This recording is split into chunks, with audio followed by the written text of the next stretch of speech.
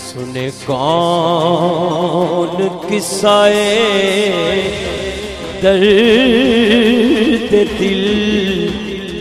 मेरा गम गुसार चला गया। सुने कौन किस्सा ये दर्द दिल, कि मेरा गम गुसार चला गया।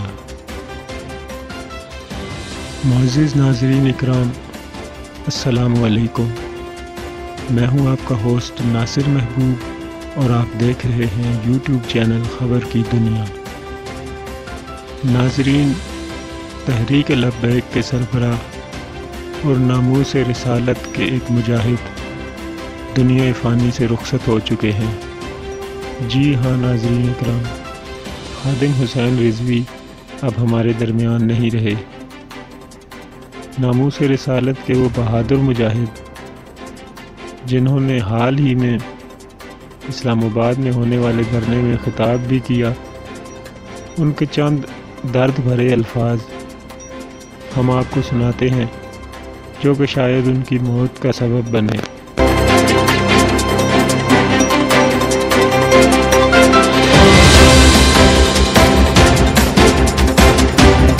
कि मेरा गला मैंने कराची में इससे भी बड़े नारे लगाए। आज भी मैंने नारे लगा लगा के मैंने कहा, मेरा गला या तो फट जाए या मेरे दिमाग दिया शरियाना फट जान, ताकि ये मुकाबले होने तो पहले मैं दुनिया तो चला जाऊँ।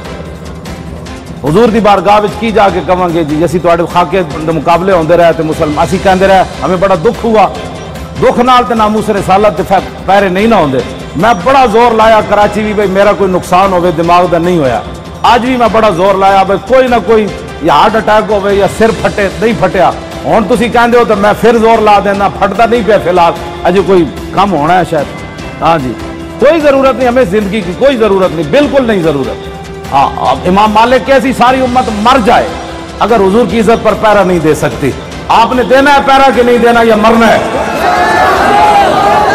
हाथ पूरा चुकना है। थले जो हाथ होया मतलब ज़िंदा रहना चाहता। इस बयान को सुनने के बाद अब हम बात करते हैं रियासत मदीना, यानी पाकिस्तान की, कि जहाँ पर नामूस रिसालत अलैहि वसल्लम के हक में निकाले जाने वाली रैली पर पुलिस की अंधाधुन शैलिंग की गई। यानी वो रियासत मदीना के जहाँ पर हुजूर अलैहि वसल्लम के हक में निकाले गए जुलूस पर भी दावा बोल दिया गया। मुख्तलिफ़ ज़राए ने यह रिपोर्टिंग की कि ये लोग इस्लामाबाद, फ्रांस एम्बेसी पर हमला करना चाहते हैं और उसे आग लगाना चाहते हैं, जबकि इन लोगों का मकसद सिर्फ़ वहाँ मौजूद फ्रांस के सफ़ीर को मुल्क से निकालना था।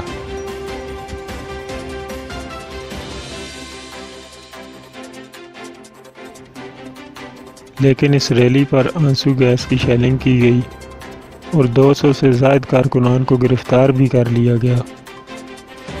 आइए हम आपको खादिम हुसैन रिजवी का बयान सुनाते हैं। हमारे तारीख लब्बैक या रसुल्ला के साथ कर रहे हो, ये आपके लिए मुनासिब नहीं है। मैं बड़ा मोहतात लफ्ज़ बोल रहा हूँ। सदा बादशाही मेरे रब की है। जो तुम्हें गलत रिपोर्टें देते हैं एजेंसियों वाले एक दिन अदालत लगनी है, जहाँ एक बिल्ली को बांधने वाली औरत जहन्नम में चली गई। हजूर ने फरमाया, मैंने देखा, उसका चेहरा नोच रही। तो तुम इन हजूर के गुलामों पर जैसे शैलिंग करते हो, जिस बेदर्दी के साथ तुम इनको गिरफ़्तार करते हो, फिर लब्बैक के नारे के ऊपर तुम मारते हो इनको। जिस दिन आप अदालत बैसी तिल तिल लिखिया भरने और अदालत अब यहाँ भी लगने वाली है। सदा ये नहीं रहना। सदा नहीं रहना। ये तुम्हें, तुम्हारी एजेंसी ने खबर दी कि हम जी फ्रांसीसी अम्बेसी के ऊपर हमला करने जा रहे हैं। हमारे तो तस्वर में भी ये बात नहीं थी। क्यों झूठ बोलते हो? फनज अल्लाह काजिबी क्यों झूठ बोलते हो? ये चमकते हुए चेहरे, ये सारे, ये सादात, हाफिज कारी आप इनसे आकर पूछ लें जी आपका क्या मतलब है? क्यों जा रहे हैं? हम आपको बता देते क्यों जा रहे हैं? मैंने इधर भी वही तकरीर की, कराची में भी वही की। चढ़ती है जब फकर की शाम पे तेगे खुदी तो फिर एक सिपाही की जरब करती है कारे सिपाही जिनके तुम कहने पर मस्जिदों में जूतों समेत दाखिल होते हो। जिनके कहने पर तुम हफाज और कुर्रा और उलमा और सादात को और उलमा ने रसूल पर जुल्म सितम डालते हो। तो आपको पता है हजूर ने क्या फरमाया? मन आज़ा मुस्लिम फ़कत आज़ानी। हजूर ने फरमाया, जिसने किसी मुसलमान को दुख दिया, उसने तो मुझे दुख दिया। कोई हमारे मकासद ऐसे नहीं है। आपकी एजेंसियाँ गलत रिपोर्ट देती हैं और इन ये क्यामत वाले उंगलियाँ भी बोल पड़ेंगी। जो तुम हमारे खिलाफ झूठ लिखते हो ना कि ये मंसूबे बना रहे थे, ये दहशत गर्दी करना चाहते थे।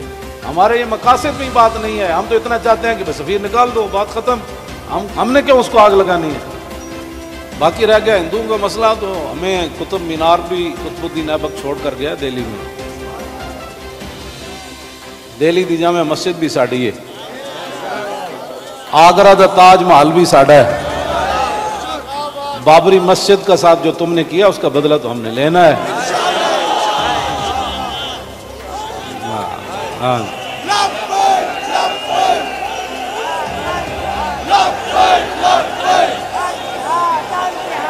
लोगों के घरों में सीढ़ियाँ लगा के दाखिल होना। एक वहाँ दरवाज़ा तोड़ा गया तो पूरा मीडिया चीखा अजी ये क्या हो गया, क्या हो गया? तो आपको पता है कितने मस्जिदों के दरवाजे इन्होंने तोड़े। कितनी मस्जिदों में जुमा नहीं हुआ। कितने इमामों को उठा लिया गया, कितने खतीबों को उठा लिया गया। इस जुर्म में कि लब्बैक का नारा लगाना है ये तो लगना है।